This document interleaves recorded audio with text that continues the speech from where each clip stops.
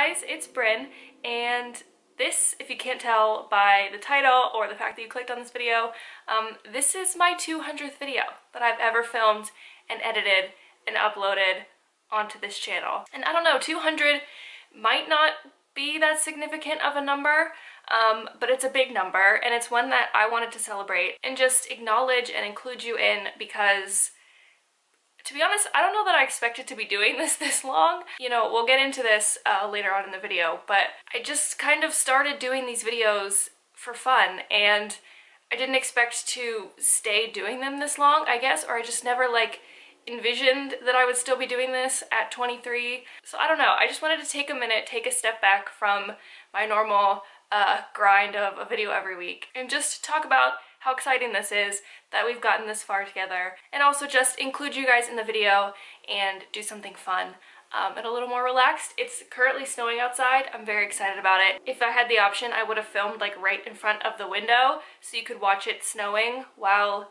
you listened to me. but that would have made for a terrible lighting situation. So unfortunately, I'm just going to have to enjoy the snow by myself. Um, but you can imagine that it's happening outside your window, or maybe it is happening outside your window it, that could possibly be the case. I'm here, I'm cozy, I'm watching the snow, I've got a cup of tea, and I'm excited to answer your questions. And uh, also there's a little over 900 of you now, which is crazy. I can't believe it. Never expected to be here. Uh, never expected to still be doing this. Um, but here we are. So let's just, you know, enjoy it and acknowledge it and have fun today in this video. So I asked you guys in some of my previous videos um, and on my Tumblr and all over the place to send me in your questions. So I'm going to be answering those today. It's really funny, you'll notice. Um, I mean, I picked out like 10 of my favorite, most interesting questions. Um, but all of the questions that I get, it's hilarious. They fall into like three different categories. There are questions about like my videos and me filming and things like that. Um, there are questions about Taylor Swift related things and there are like questions asking for advice and these are the three things that you guys always find questions about and I love it. It's amazing. You know, I feel like no other channel on YouTube just has this unique mix of people and I love that. So we're gonna start off easy and get a little harder as we go on. Are you doing Vlogmas this year? The short answer I think is gonna be no. I did it last year kind of. I didn't do it like traditionally like you're supposed to do it where you vlog and you edit and you upload a video every single day um, up until Christmas. But I did it like every two or three days or so I would post a video. And I've just come to the conclusion that Vlogmas is for people who uh, make videos full time because my life just isn't that exciting. It doesn't get more exciting when December rolls around. Mainly because like I'm still working and I'm still doing boring things and it's just not that fun to watch. Like, yes, I get a Christmas tree. Yes, I decorate a little bit. Um, yes, I'm shopping for gifts and stuff, but it's not enough to like make it worthwhile, I don't think. I might post more videos come December um, just because I might want to vlog a little more. Uh, I might just have more ideas of things that I want to uh, make videos about, but I'm not going to do a video every day. That's way too much work for me when I already have a full-time job. so, short answer, no not doing Vlogmas, um, but we'll definitely be taking advantage of the fun, festive Christmas holiday season because it's my favorite. I love it so much. I'm so basic, but it's the truth. you mentioned that you finished your novel. How do you feel about it and would you ever consider publishing it? So if you're new here, um, I did make a bunch of vlogs last year in November for NaNoWriMo and I was trying to write a book. It did not happen over uh, November However, it did happen in the months following. I think I wrote about 75,000 words-ish. Would I ever consider publishing it? The answer would probably have to be no. Um, I think I wasn't writing this book as, you know, something that I wanted to write. I was writing it just to kind of prove to myself that I could do it. And at the end of it, like, I, it was mostly that I was just excited to finish it and excited to say that I'd done it. Um, but now going back and like reading over it, I'm like, I don't think this is something that I want to uh, continue to spend time with, but I like knowing that I can put in the time and I can get to that goal if uh, I ever find a reason to, which makes me feel a lot better about myself I'll be honest. It's a good ego boost, if nothing else. Do you talk about Diary of a Bryncess with any of your in real life friends, family, coworkers, etc.? Again, the answer is no. Um, when I started this, it was very much a thing for me. I didn't care about people watching it, and I was adamantly against anyone I know knowing about it. I had one friend that I told, um, and still to this day is the only friend that I've told. Um, I do have friends that have found out, um, I do have random people that I know that have found out. Um, some of my family members have found out. None of them from me actually telling them. So I don't know how that happened. But yeah, I'm very much, I'm just like a very private person in general, which is weird that I make videos because I'm such a private person. But it's kind of my way of like being social without actually having to be social. Like I'm talking to you, but in reality, I'm staring at a camera right now and also staring at my own face. And I'm not actually talking to anyone in this room at the moment and I'm very introverted so I feel most like myself when I'm by myself. So when I talk to people or when I have friends or when I'm with family like I never feel 100% comfortable and I never feel 100% myself. To me this is like one of the best ways to really like connect with people and you know have people actually understand who I am without having to be in a room with me.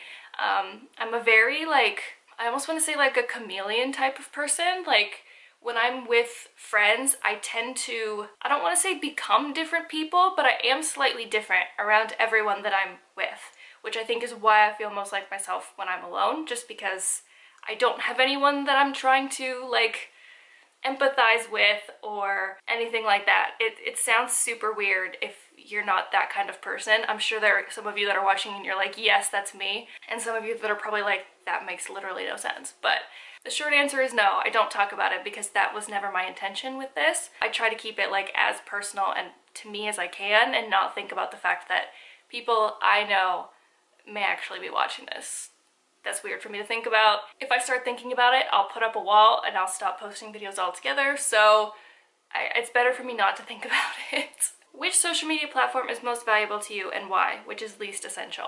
Um, I find this question interesting because I think about social media a lot and I feel like my relationship with social media has changed quite a lot. To me now, my easiest answer is YouTube is my favorite. Mainly because I think Social media, when I was younger, used to be a way for me to connect with people that I knew. As I get older, um, I find I use social media much more to connect with people that I don't actually know in real life. It's my way to see and understand and listen to people who I would just like never come across in real life, whether it's because they live states or countries or oceans away or they just lead completely different lifestyles to my own or whatever it is. I just, I love being able to listen to them and to see what their lives are like and feel like they're my friends even though we could probably never actually be friends um, unless I lived somewhere else or they lived here or whatever it was. I feel like YouTube is the best way to do that, to connect with those people because you get the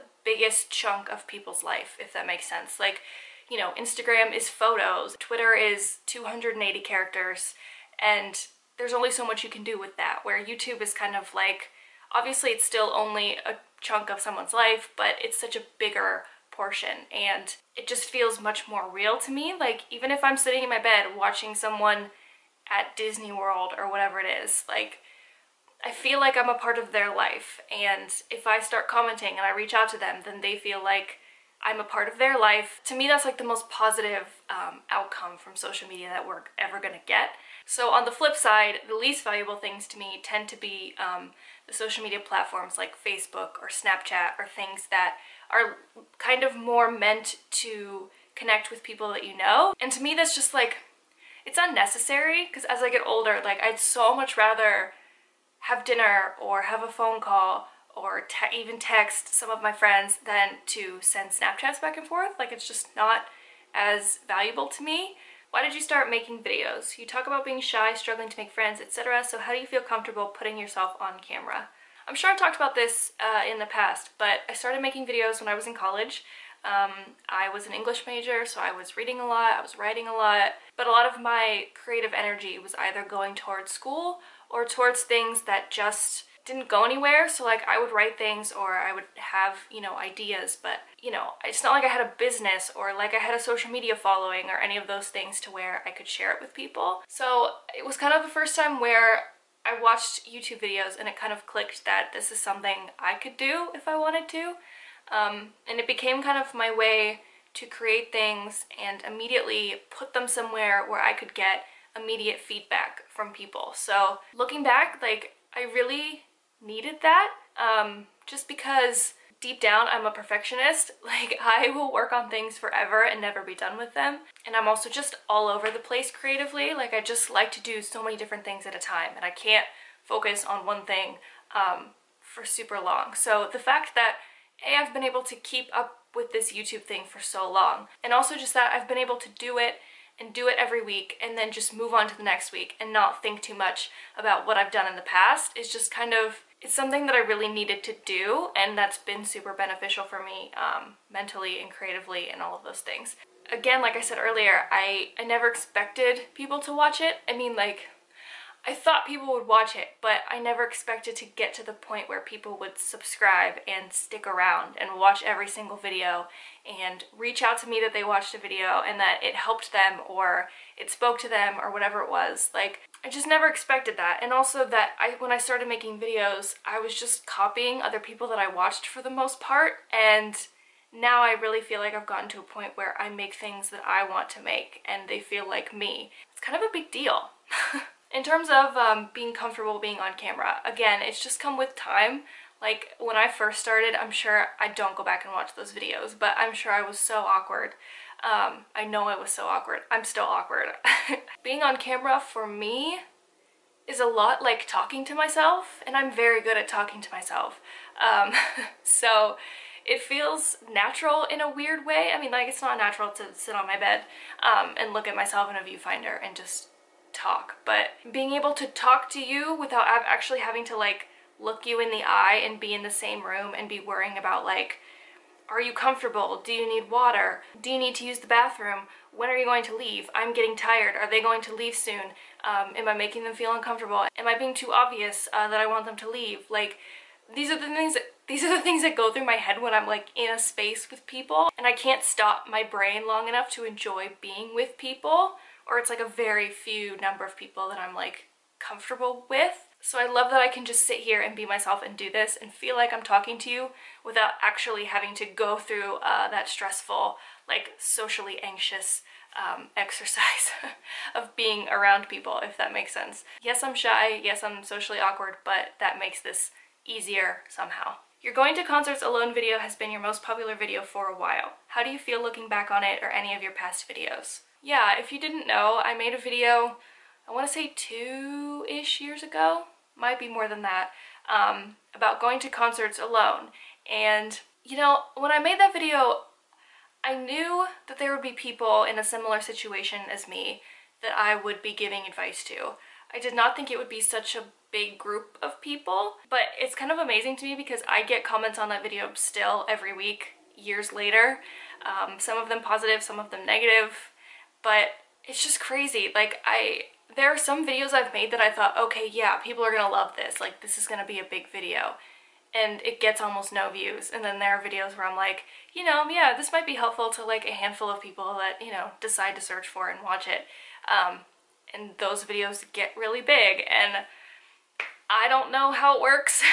As a rule, I don't really look back on past videos. I try to be more of like a future forward thinker rather than a past thinker. Um, I don't really like regret or anything like that, so it's easier for me not to look at older videos just because like, you know, if I posted them, that means that I liked them at the time and I enjoyed them at the time and they were right for me at the time. With that video in particular, I get a lot of comments uh, of people saying like, these tips are so stupid, like, just go to concerts alone, it's not a big deal, no one cares, it happens all the time.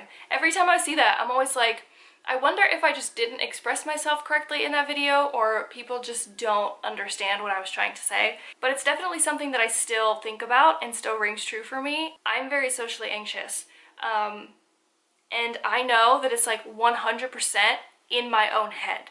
Like, I know if I go to a concert alone, no one's gonna care. Everyone's worried about their own experience, everyone's worried about themselves, everyone's worried about who they're going to see. No one is looking at me sitting by myself caring what the hell I'm doing.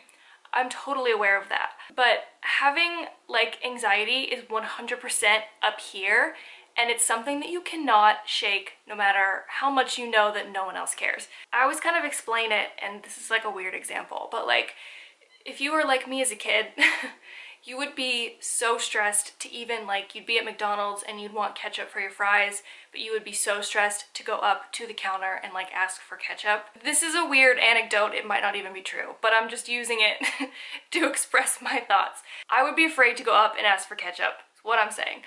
But if I'd been with a friend or with, you know, a family member or whoever who was afraid to go up and ask for ketchup, in two seconds flat, I would be like, hold on, I got you. I will go up to the counter and I will walk up to the counter and I will ask for ketchup for my friend and will not think twice about it. To someone else, to the person at the counter, the scenario is exactly the same. It's me going up and saying, can I have ketchup? And then and them giving me ketchup. But for some reason in my brain, those two scenarios are completely different. And knowing that someone else wants it and knowing someone else is afraid to ask, I will get up and I will do it for that person in no time and will not think twice. But if it's for me, I will stress about it so much that I will not do it. And to me, that's what I was kind of trying to convey in that concert video. And what I try to convey all the time when I talk about anxiety is just that, like, it's all about how you think about it in your head. And like, yes, those tricks that I talked about probably sound stupid to someone that doesn't understand that. And they're like, you know, why would you go to a concert and pretend you're doing this? Or why would you do that? That doesn't make sense. That just, that's dumb. I'm like, yes, but it all depends on how I'm thinking about it. And that's what makes the difference. I, have thought for a while about making a follow-up uh, video to that video, but I'm I'm not really sure what that would be, so I don't know if I will ever do that, but I have not gone back to like double check what I said because I feel like I just don't need that in my life, you know? What's your favorite video you've ever filmed? I don't know about favorite, um, but the one that I'm happiest to have made would either be the going to concerts alone video or one that I made this summer um, where I talked about how I struggle to make friends. And I say those two because those are the two that I've received the most feedback from people in terms of them saying like this really helped me or you said exactly what I've been wanting to say or you know you I felt like you were speaking directly to me and this helped me so much whatever it was um, and it's just it's kind of all I can hope for from these videos. Like I I don't know when I get comments like that um, especially when it's something like in, you know, the struggling to make friends video. It was just a vlog. It wasn't something that I planned to talk about, but it was something that I was just feeling at the time. Um, both of those videos are just things that I was going through and that I thought, you know, if I'm dealing with this, someone else is probably struggling with this, so why don't I just talk about it and hopefully help someone else? And just the fact that it actually did help people or that people have reached out to me and told me that time and time again, um, it just feels really good. I love that because I'm just being honest. like all I'm doing is talking about myself and talking about my life um, and explaining the things that I'm thinking about and the fact that we can connect over that. I just love that a lot. Alright, now we're moving on to a couple of advice questions. Um, someone asked what to do when my small friend group that I'm not super close with asks to hang out but there's alcohol involved and we're all underage. I'm not interested but I feel like I'm a wimp if I'm the only one who doesn't want to drink as a 17 year old peer pressure's real, man. Um, and this is something it's easy for me to say now as, you know, a 23 year old who, I'm not old, but like I'm older than I used to be. Something that I've just learned over the years is that the most important thing of everything is to be yourself. And if that means your friends are doing something and you're not comfortable with it, then like don't do it. And I know that's easy to say, like it's not so easy to do when you're in a situation where you're feeling uncomfortable or, you know, where you feel like you should be doing something or whatever it is. Um, but I had those, you know, scenarios similar to that kind of um, when I was growing up, just where I would have a group of friends who would be so interested in something and I just wasn't and I always felt left out because of it. And I think my coping mechanism one was just to find things in my own personal life um, that I enjoyed by myself. I would also just find other friends who wanted to do the things that I wanted to do. I didn't have big groups of friends when I was a teenager, but I do remember having like a few different friends. None of them were like the perfect friend by any means. I feel like there's this ideal where we're all in like a friend group and all of our friends are like our best friends and we all get along 100%, but that's just not realistic. Like for me, I had maybe like four or five friends that I went to for different things. Like if I wanted a chill, relaxing evening watching movies, I would call one friend. If I just wanted to laugh all night and go to Walmart and hang out and just have a great time, I had another friend I would call. So I think just like don't be afraid to make other friends that like to do other things that you like to do that maybe some of your other friends don't enjoy doing. Like if you love bowling, none of your friends like bowling, find another friend that you can go bowling with and it doesn't mean you can't be friends with your other friends. It's just that when you're really feeling you know like you want to go bowling you have a friend you can call. Or when you know your other group of friends is out drinking or whatever they're doing and you're not comfortable with it you can call someone else and do something different. How do you try to make yourself feel less alone? Because i know we both aren't the greatest at the making new friends or socializing part of life. True. Um I don't know, this is something I'm struggling with a lot at the moment and I wish I had an answer, uh, but I don't. Again, I think being able to make videos and doing things online and meeting people this way has been extremely helpful for me, even if it's not something that's super sustainable or that's there all the time. Um, it has helped me a lot. Again, I really struggle to make new friends. I struggle to find like lasting um, friendships with people. Uh, unfortunately, I don't know.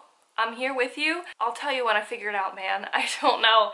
I'll have better advice for you uh, by like my three or 400th video. All right, last question. Let's do a fun one. Favorite song from each of Taylor's albums. Um, this is Taylor Swift, for any of you who are new here.